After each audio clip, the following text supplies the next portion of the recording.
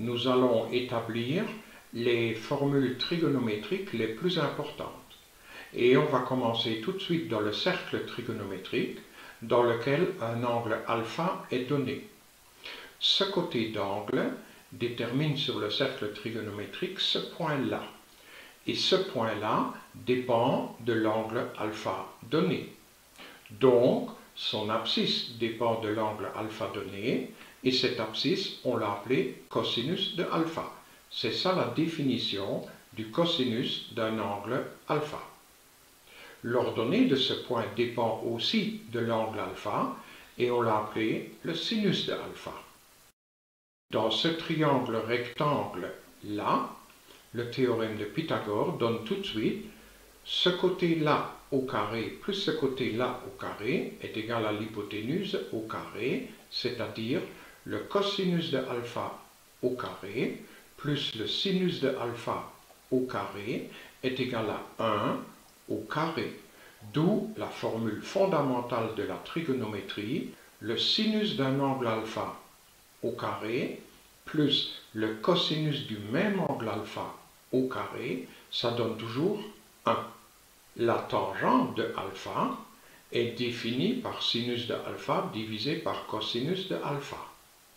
La tangente de alpha se voit dans le cercle trigonométrique en traçant la droite verticale passant par ce point E de coordonnées 1, 0 et en prolongeant ce côté d'angle jusqu'au point d'intersection avec cette droite verticale. L'ordonnée de ce point d'intersection, ça c'est la tangente de alpha. La cotangente de alpha, elle est définie par cosinus de alpha divisé par sinus de alpha. Et donc par définition, la cotangente de alpha, c'est l'inverse de la tangente de alpha. Pour voir la cotangente dans notre dessin, nous traçons la droite horizontale passant par ce point U de coordonnées 0, 1, et ensuite nous prolongeons ce côté d'angle jusqu'au point d'intersection avec cette droite horizontale. L'abscisse de ce point d'intersection, c'est ça la cotangente de l'angle alpha. Faisons maintenant disparaître ces nombres trigonométriques de notre dessin ainsi que le triangle rectangle. Pour cet angle alpha donné là, l'angle pi demi moins alpha, c'est celui-là. Cet angle, c'est l'angle pi demi moins alpha. En changeant l'angle alpha, nous voyons bien dans le dessin que cet angle-là, c'est effectivement pi demi moins cette ouverture alpha. Nous allons regarder le cosinus de pi demi moins alpha. C'est ce nombre vert-là. Et il n'est pas compliqué de voir de suite dans le cercle trigonométrique que ce cosinus de pi demi moins alpha, c'est exactement le même nombre que le sinus de alpha. Faisons varier l'angle alpha, pi demi moins alpha varie en conséquence, et nous voyons bien que le cosinus de pi demi moins alpha est exactement la même chose que le sinus de alpha. On peut d'ailleurs démontrer cette formule en appliquant une symétrie orthogonale par rapport à cet axe-là d'équation cartésienne y égale x. La situation est bien symétrique par rapport à cette droite d'équation y égale x. Donc, nous pouvons retenir la formule le cosinus de pi demi moins alpha, c'est la même chose que le sinus de alpha. Mais des formules pareilles, il y en a tout plein dans le cercle trigonométrique et il vaut mieux de ne pas les étudier par cœur parce qu'on va se tromper. D'ailleurs, ce n'est pas nécessaire de les étudier par cœur puisqu'on les voit dans le cercle trigonométrique. Voyons encore d'autres formules de ce type-là. Regardons par exemple le sinus de pi demi moins alpha Bien sûr que c'est la même chose que le cosinus de alpha. Faisons varier alpha ici.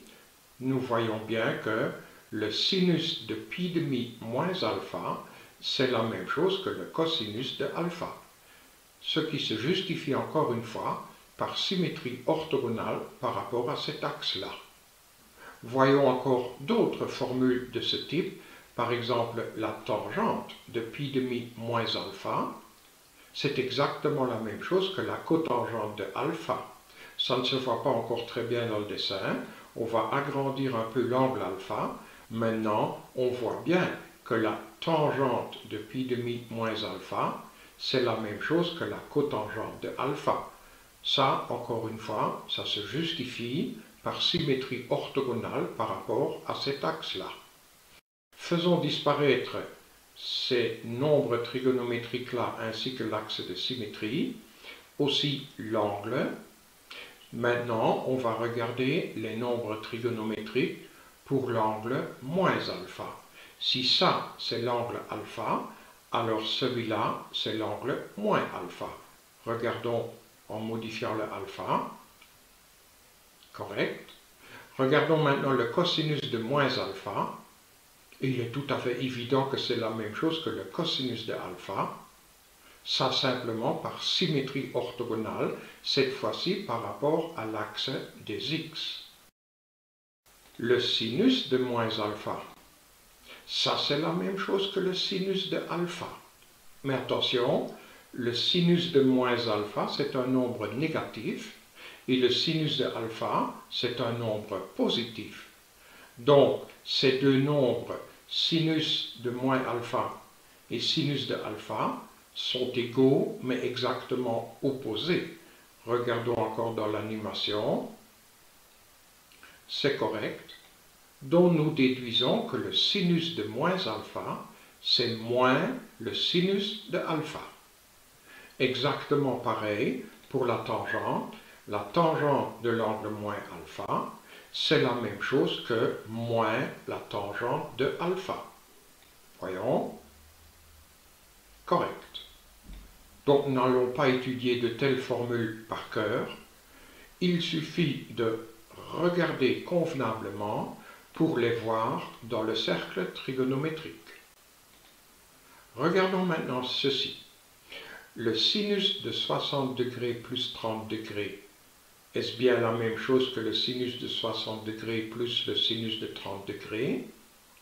Pour vérifier ça, il suffit de calculer le sinus de 60 degrés plus 30 degrés et le sinus de 60 degrés plus le sinus de 30 degrés. Ce que nous faisons de suite, le sinus de 60 degrés plus 30 degrés, mais ça c'est le sinus de 90 degrés. Et le sinus de 90 degrés, c'est 1. Ça aussi, ça se voit dans le cercle trigonométrique. Le sinus de 60 degrés plus le sinus de 30 degrés, ça c'est racine de 3 sur 2 plus 1 demi. Voilà. Et la somme de ces deux fractions, ça donne racine de 3 plus 1 sur 2. La racine de 3, c'est 1,732. Plus 1, ça fait 2,732. Divisé par 2, ça ne fait pas 1. Par conséquent, cette formule, elle est fausse. Nous savons ainsi que le sinus de alpha plus bêta, ce n'est pas le sinus de alpha plus le sinus de bêta. On a tendance à appliquer une telle formule, mais elle est fausse. Pour prouver qu'une formule est fausse, il suffit de donner un contre-exemple, ce qui a été fait. Pour montrer qu'une formule est correcte, il faut la démontrer en général.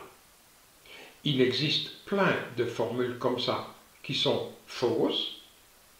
Oui, mais si le sinus de alpha plus bêta, ce n'est pas le sinus de alpha plus le sinus de bêta, existe-t-il quand même une formule qui permet de calculer sinus de alpha plus bêta? Nous allons regarder tout ça de plus près. Attaquons avec cette formule-là le cosinus de alpha moins bêta. Attention, ce n'est pas le cosinus de alpha moins le cosinus de bêta, mais c'est le cosinus de alpha fois le cosinus de bêta plus le sinus de alpha fois le sinus de bêta. Pour démontrer cette formule, nous allons tracer deux angles alpha et bêta dans le cercle trigonométrique. Si ça, c'est l'angle alpha, alors ce point-là a pour coordonnées cosinus alpha, sinus alpha, par définition du cos et du sin. Et si ça c'est l'angle bêta, alors ce point-là a pour coordonnée cos bêta sin bêta. Ça c'est l'angle alpha et ça c'est l'angle bêta. Donc l'angle alpha moins bêta, c'est cet angle bleu-là. Si de l'angle alpha nous retirons l'angle bêta, il nous reste cet angle bleu, alpha moins bêta. Et pour calculer le cosinus de alpha moins bêta, nous allons calculer le produit scalaire des deux vecteurs OA et OB. Faisons ça. Le produit scalaire de OA avec OB, c'est par définition du produit scalaire la longueur du premier vecteur fois la longueur du deuxième vecteur fois le cosinus de l'angle que forment ces deux vecteurs, et ça c'est bien l'angle alpha moins bêta. Mais puisque le point A se trouve sur le cercle trigonométrique, la longueur du vecteur OA, c'est le rayon du cercle, c'est-à-dire 1. Idem pour OB. Donc, le produit scalaire du vecteur OA par le vecteur OB, c'est 1 fois 1 fois le cosinus de alpha moins bêta, c'est-à-dire le cosinus de alpha moins bêta. Comme nous travaillons ici dans un système de référence orthonormé, nous savons que le produit scalaire peut aussi se calculer par abscisse fois abscisse plus ordonnée fois ordonnée. Donc ici, c'est abscisse cos alpha fois abscisse cos bêta plus ordonnée sin alpha fois ordonnée sin bêta, ce qui donne alors comme produit scalaire cos alpha cos bêta plus sin alpha sin bêta. Et puisque ce nombre-là est égal au produit scalaire de OA et OB et celui-là également, c'est que ces deux nombres-là doivent être égaux ce qu'il fallait démontrer. Pour ceux qui ne connaissent pas le produit scalaire, on peut démontrer cette propriété un peu autrement. Nous avons ici un angle alpha donné, d'où ce point A là de coordonnées cos alpha sin alpha. Nous avons aussi l'angle bêta qui est donné, d'où ce point B de coordonnées cos bêta sin bêta. Si on retire de l'angle alpha cet angle bêta, alors on obtient cet angle vert-là, c'est bien ça l'angle alpha moins bêta. Et cet angle alpha moins bêta, on va le construire à partir du point E, c'est-à-dire on va le dessiner comme ceci. Cet angle-là, c'est alpha moins bêta, et celui-là aussi. Le point C a été construit ainsi. Ces deux angles verts d'amplitude alpha moins bêta, ce sont deux angles au centre qui ont la même amplitude. Et par conséquent ils interceptent des arcs de circonférence de même longueur, ce qui signifie donc que l'arc AB a la même longueur que l'arc CE. Mais ces deux angles au centre qui ont la même amplitude intersectent aussi des cordes de même longueur, ce qui signifie que la distance entre les points A et B, c'est la même que la distance entre les points C et E. Et c'est de cette propriété-là que nous allons déduire cette formule sans produit scalaire. Pour déterminer la distance entre deux points, A et B, nous avons cette formule-là, si ça c'est la coordonnée de A et ça c'est la coordonnée de B, alors la distance entre A et B se calcule par la racine carrée de différence des abscisses des deux points au carré plus différence des ordonnées des deux points au carré. Nous reconnaissons évidemment le théorème de Pythagore qui est caché derrière cette formule. Nous venons de déduire que la distance entre A et B doit être la même que la distance entre C et E. Donc nous avons déjà ceci. Pour la distance entre A et B, nous appliquons notre formule qui dit que cette distance est égale à la racine carrée de abscisse moins abscisse au carré, c'est ça, plus ordonnée moins ordonnée au carré. Ça c'est ceci. Exactement la même chose pour les deux points C et E. La distance entre ces deux points, c'est la racine carrée de différence des abscisses, donc cos alpha moins bêta et 1 au carré, c'est écrit là, plus la différence des ordonnées au carré, donc sinus alpha moins bêta moins 0 au carré. Voilà la distance entre C et E. Maintenant, nous élevons des deux côtés au carré, ce qui fait simplement disparaître les racines. Pour ce carré-là, nous appliquons le produit remarquable a moins b au carré, ça fait a carré, moins 2ab plus b carré. Idem pour cette différence au carré là. a moins b au carré, ça fait a carré, moins 2ab plus b carré. À droite, pareil, a moins b au carré, ça fait a carré moins 2ab plus b carré. Et pour le dernier, n'appliquons pas a moins b au carré. Disons de suite que sinus de alpha moins bêta moins 0, ça fait sinus de alpha moins bêta au carré, mais c'est le sinus de alpha moins bêta au carré. Maintenant, nous avons que toute cette expression-là est égale à celle-là. Ici, nous voyons le cosinus au carré de alpha, et là, plus sinus au carré de alpha. Mais par la formule fondamentale de la trigonométrie, la somme de ces deux carrés, ça donne 1. Idem ici, cos carré de bêta plus sin carré de bêta, cette somme, ça donne également 1. Ceci a été recopié, ça également, et puis à droite du signe d'égalité, nous avons la cos carré de alpha moins bêta, et ici plus sin au carré du même angle. Donc encore une fois par la formule fondamentale, la somme de ces deux carrés, ça donne 1. Et ici nous avons 1 au carré qui donne également 1. Donc finalement, ce 1 plus 1, c'est 2, comme celui-là, donc ils s'en vont. Nous avons maintenant moins 2 cos alpha cos bêta, moins 2 sin alpha sin bêta, est égal à moins 2 cos alpha moins bêta. Et en divisant tout par moins 2, nous obtenons finalement cette formule-là qui était à démontrer. Nous voyons ici que le produit scalaire est un moyen efficace pour démontrer des formules assez facilement. Voilà, faisons disparaître tout ceci et continuons par cette formule-là.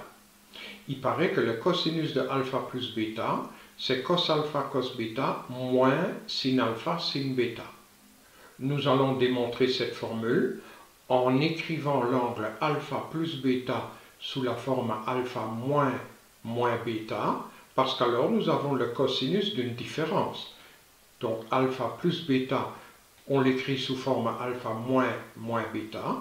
Notre première formule donne le cosinus de alpha moins moins bêta, c'est le cosinus du premier fois le cosinus du second, plus le sinus du premier angle fois le sinus du deuxième angle. Maintenant, de nouveau, pour cosinus de moins bêta, on regarde dans le cercle trigonométrique et on voit de suite que ça, c'est le cosinus de bêta. Et pour le sinus de moins bêta, idem, nous voyons que ça, c'est moins sinus de bêta. D'où, de suite, cette formule-là. Sinus. Pour le sinus de alpha plus bêta, il paraît que c'est sin alpha cos bêta plus cos alpha sin bêta.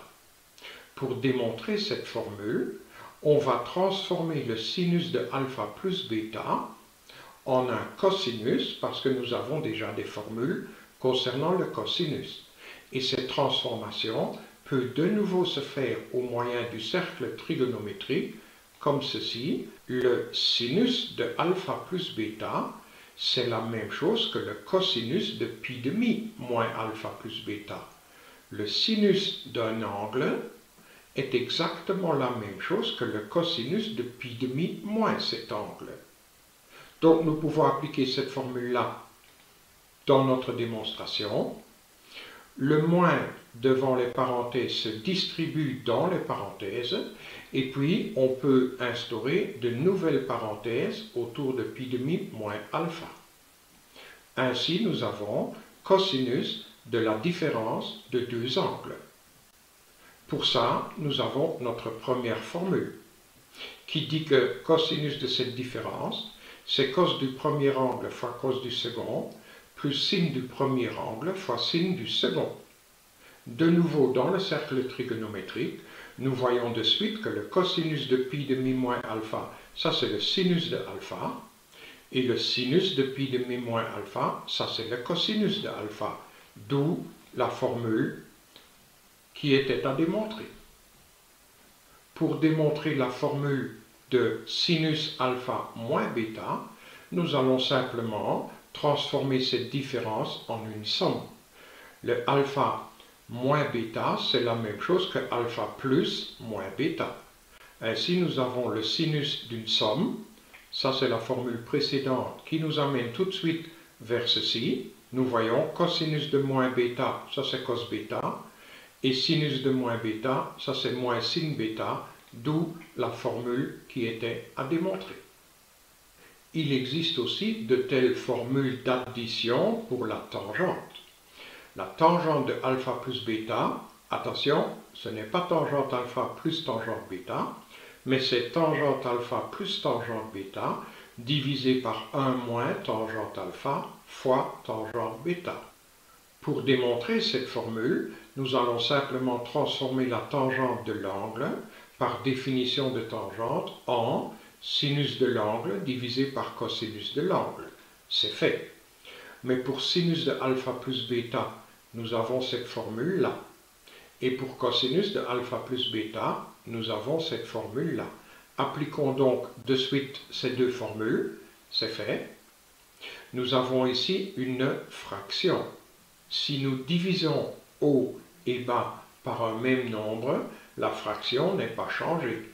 Nous allons diviser numérateur et dénominateur par cosinus de alpha fois cosinus de bêta, par ce produit-là. Faisons déjà ça. Pourquoi? Parce que ici devant, nous allons obtenir ce 1 qui figure dans la formule qu'on souhaite démontrer. Le terme derrière ici, nous voyons sinus alpha sur cos alpha qui n'est rien d'autre que la tangente de alpha. Et ici, on voit sin bêta sur cos bêta qui est égal à la tangente de bêta. Le dénominateur, on l'a déjà. Maintenant, le numérateur nous voyons qu'on peut simplifier la première fraction par cos bêta et il reste tangente de alpha. Et puis plus, ça tombe bien. Ici, nous pouvons simplifier de suite par cosinus de alpha. Et ce qui reste, c'est bien la tangente de bêta, ce qu'il fallait démontrer. Pour tangente de alpha moins bêta, nous avons cette formule-là qu'on peut démontrer soit comme ceci, ou bien simplement en transformant cette différence en une somme de deux angles. Alpha moins bêta, c'est la même chose que alpha plus moins bêta. Ensuite, nous appliquons cette formule-là. Et dans le cercle trigonométrique, nous voyons de suite que la tangente de moins bêta, c'est moins tangente de bêta. Idem ici, d'où la formule qui était à démontrer. Ces six formules s'appellent les formules d'addition. Nous allons maintenant reprendre celle-là, celle-là et celle-là, les formules d'addition avec les plus. Recopions ces trois formules, c'est fait. Ces trois formules sont valables pour n'importe quel angle alpha et bêta. Donc, elles doivent aussi être valables si bêta est égal à alpha. Donc, dans ces trois formules-là, nous pouvons remplacer tous les bêta par alpha, ce qui est fait. Et maintenant, nous lisons des nouvelles formules. Cosinus de 2 alpha, c'est cosinus au carré de alpha moins sinus au carré de alpha. Deuxième formule, le sinus de 2 alpha, c'est sin alpha cos alpha plus sin alpha cos alpha. Donc c'est deux fois sin alpha cos alpha. Et la tangente de 2 alpha, c'est 2 fois la tangente de alpha divisé par 1 moins tangente de alpha au carré. D'où ces trois formules-là qu'on appelle les formules de duplication. Cosinus du double de alpha, c'est cos carré de alpha moins sin carré de alpha. Le sinus de 2 alpha, attention, là aussi on a tendance de dire ça, ça doit être 2 sinus alpha. Non, sinus de 2 alpha, c'est 2 sinus de alpha fois cosinus de alpha. Et la tangente de 2 alpha, ça c'est 2 tangentes alpha sur 1 moins tangente carré de alpha. Ces trois formules s'appellent les formules de duplication. Nous allons maintenant appliquer cette première formule de duplication dans deux exemples. 1 moins cosinus de 2 alpha sur 2 et 1 plus cosinus de 2 alpha sur 2. Ce cosinus de 2 alpha peut être remplacé par cos carré de alpha moins sin carré de alpha. Faisons ça. Nous obtenons donc 1 moins cos carré de alpha plus sin carré de alpha en distribuant ce moins sur cette différence. Ici, nous avons 1 moins cos carré de alpha. Cette différence-là, c'est la même chose que sinus au carré de alpha par la formule fondamentale de la trigonométrie. Donc, 1 moins cos carré de alpha peut être remplacé par sinus au carré de alpha, et ce sinus au carré de alpha plus ce deuxième sinus au carré de alpha, ça fait bien 2 sin carré de alpha. Et maintenant, on peut encore simplifier cette fraction par 2. Ici, calcul semblable, le cosinus de 2 alpha s'exprime comme ceci par cette formule de duplication, et ce 1 moins sinus au carré de alpha, de nouveau par la formule fondamentale de la trigonométrie, 1 moins sinus au carré de alpha, c'est la même chose que cosinus au carré de alpha. Donc ce 1 avec le moins sin carré de alpha, ça donne cos carré de alpha, plus ce cos carré de alpha là, ça fait 2 cos carré de alpha.